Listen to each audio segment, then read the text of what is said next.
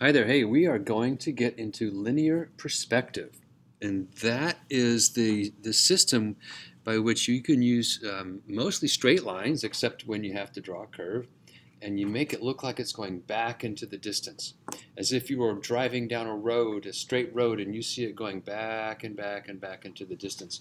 Here's the basics of how it's doing and how we're going to apply it First, we're going to draw some cubes to understand how to do that. Then we're going to take those cubes and put letters on them and even stack them up and rotate them like that. Okay, it gets to be um, pretty interesting. It gets there's a lot of math involved, but we're not going to do any math. I'm going to show you the shortcuts on how to do it. And here's how you're going to get started. We're also going to, uh, when we draw these, they're going to have this kind of quality at first to understand how to do it. That's one point perspective. Here's two point perspective. See how they look a little bit different. We're going to get into, like I said, stacking up those blocks and putting your initials there, and we're even going to get into coloring. All right, but that's a little ways away. Let's go to the beginning. All you need is a ruler, a pencil, and a few pieces of paper. So on the first piece of paper, um, we're just going to make four boxes, and they don't have to be perfect.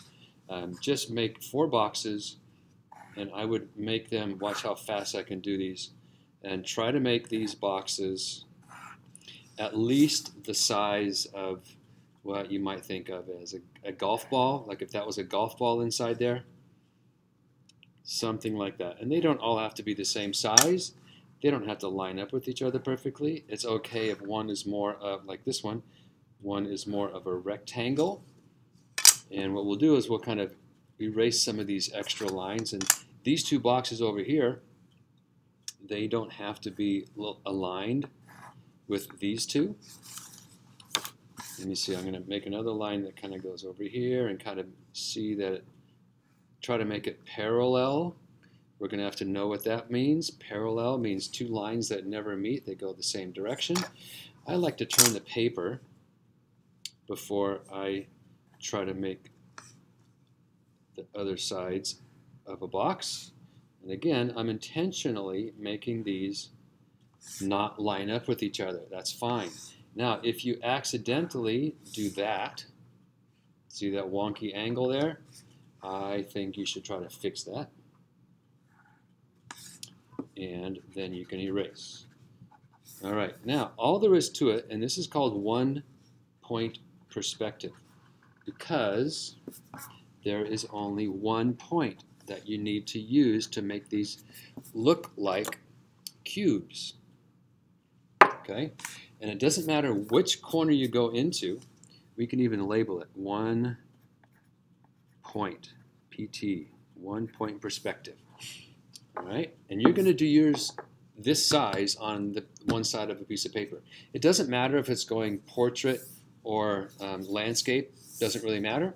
But I'm going to make my one point go off into that corner, and I want you to literally make a kind of a fat dot right there.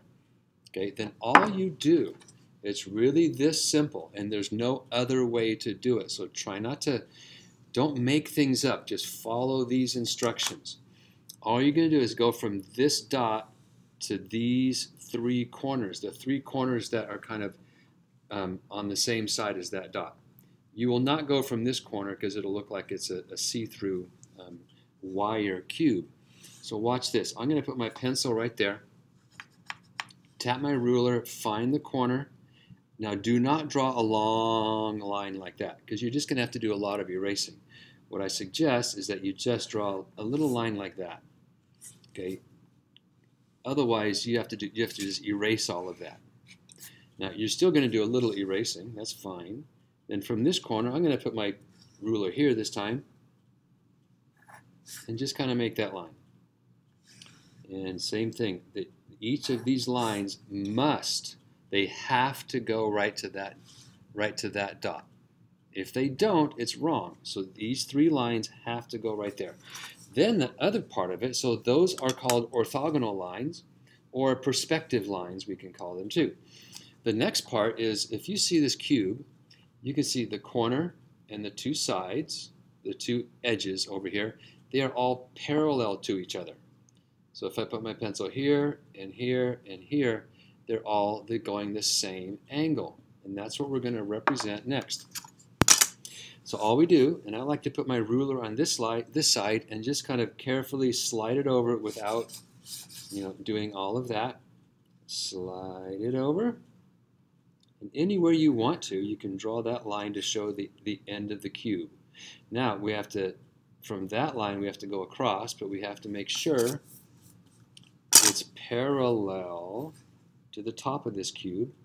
And again, I like to turn the paper so my eye can see this line, and I'm going to stop my ruler right where this line stopped and draw that line, hold my ruler down.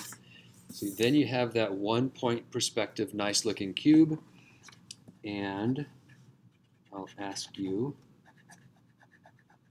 to erase that. That's all you do, and you're going to do it with each of these. Now, each one must go to this dot. And here's how fast it can go if you kind of get used to it. So if you want to, you can just do all of these orthogonal or perspective lines first. Now, if you noticed, none of these boxes go way over here toward the edge. That's important because if you, I'll just do one freehand. If you do a box way over here at the edge, this angle right here, if it's correct, it goes way up to the corner, okay, and then the next one goes way up to the corner, and these two lines get really close together. So when you make your boxes, kind of get them in the middle of your paper, okay? That is a kind of an important thing because it looks really confusing over here. Now I can just go around and slide my ruler and turn it and, and put my, my, my eyes right over the top of the ruler so I can really see where I'm going and I'll erase the rest of those. So here, slide up. I could go here or here or here or here or here. Doesn't matter. Just try to make this line really parallel to that one. And notice I would honestly, guys, get used to turning your paper so you can make a nice clean line.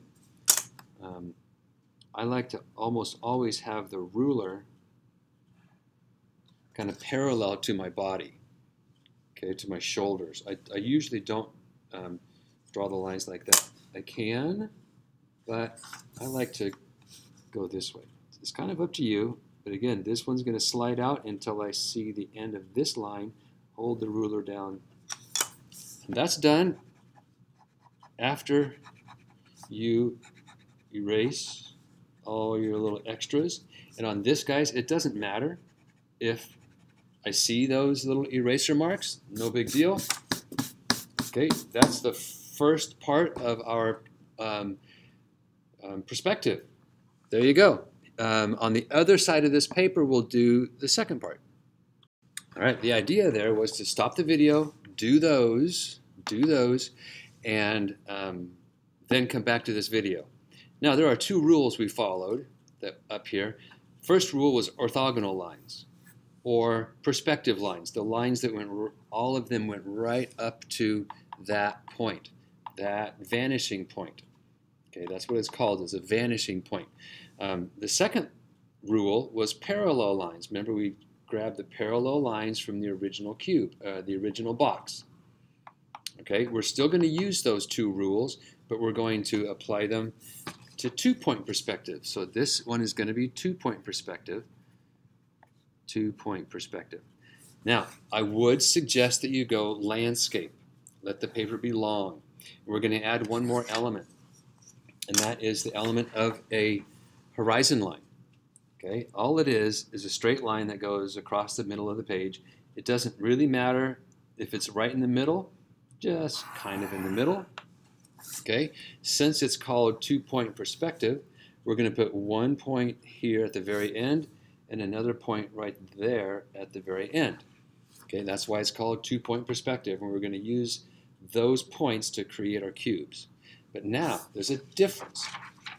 Here, whoops, we made the box first. This time, we're only going to draw this line right there first, the corner of it. Now, um, I'm going to bring this cube back and forth here a little bit and show you how it works on paper and how it really does represent what's in real life as well. All right, so horizon line. You have to imagine that this part up here is the sky, and this part down here is the earth, is the land. Okay, sky and, and land. Here's what you do. You're going to make three cubes up here, two across the middle, and three down here. So just kind of watch for a minute. Um, let me do this. You're going to draw a cube. I'm sorry, just draw that corner.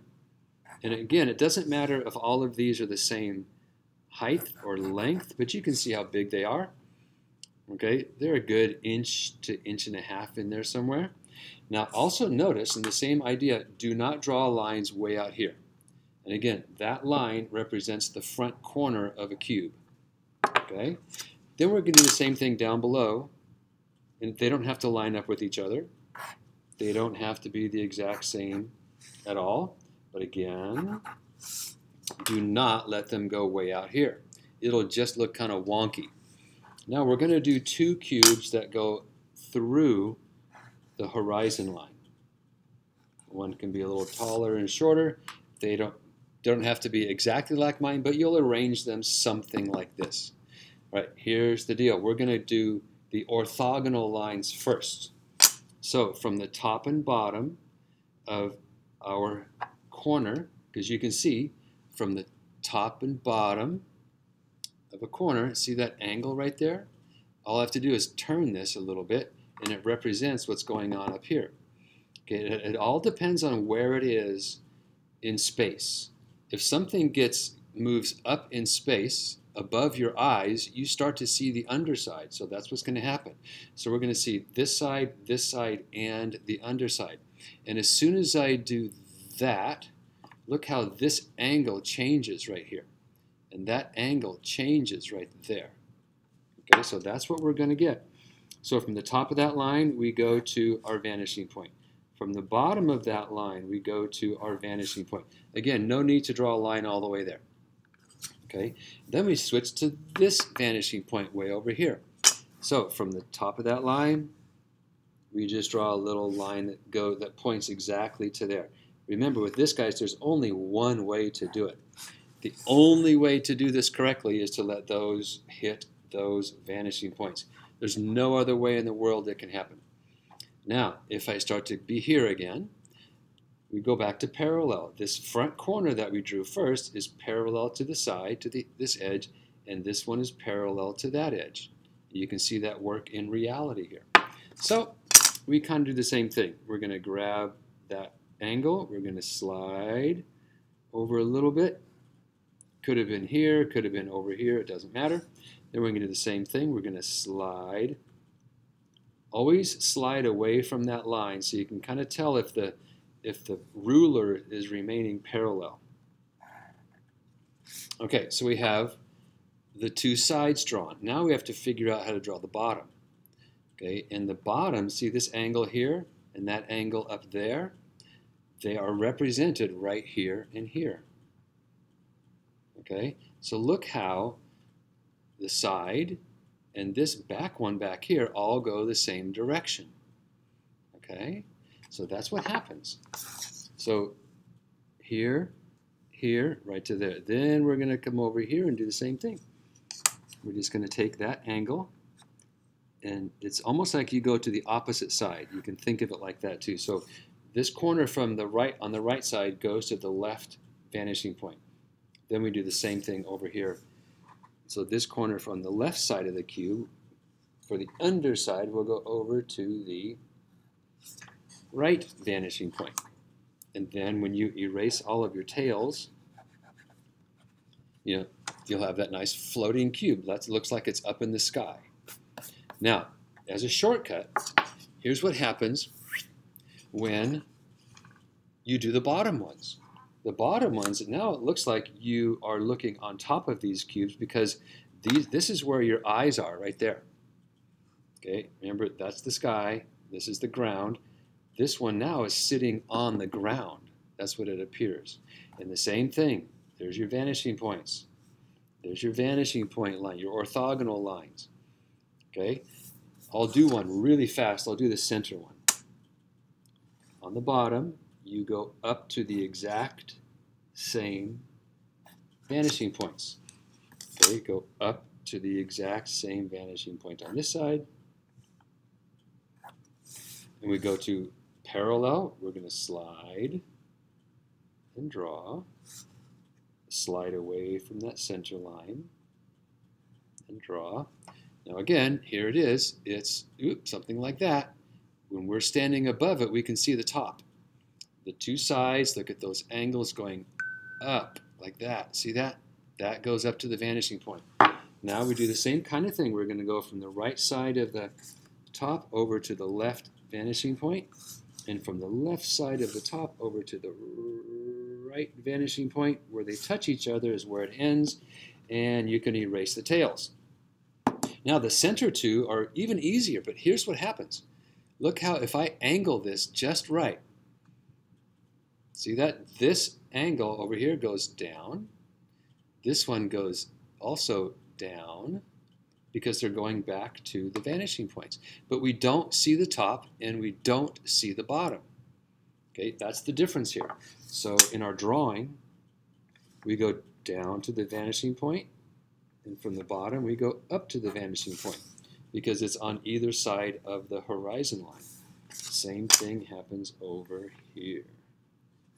This goes all the way over to the other all the way over to that other vanishing point.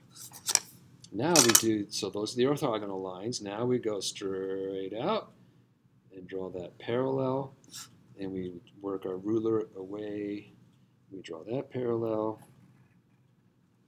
And we can erase the extras, but it's also nice to erase the horizon line. Then it looks solid.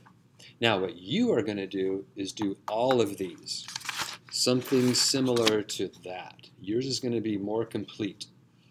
Okay, so on this piece of paper, you are going to have four cubes using one point perspective. And by the way, this is the last time you're going to use one point perspective. This is just to learn the rules. And on the back side, you're going to do two point perspective with three on top, three below, and two in the two across the middle. Okay, just like you see here. And just like you see right there. Oops, sorry about the glare. Just like you see there. All right, have fun with that. We'll see you at the next video.